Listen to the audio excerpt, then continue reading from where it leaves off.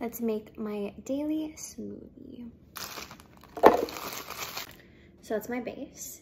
And then I'm going to add some frozen raspberries. So now I'm gonna add some vanilla ice cream protein powder. Okay. Next, um, greens because smoothie is like a perfect opportunity to hide vegetables. So I have some romaine. Okay. That, and then I have a little tiny bit of baby carrot left.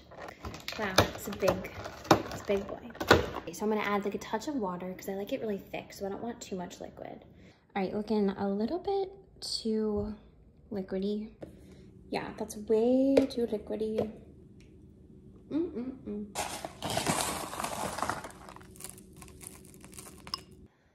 There we are. The taste test. Mm.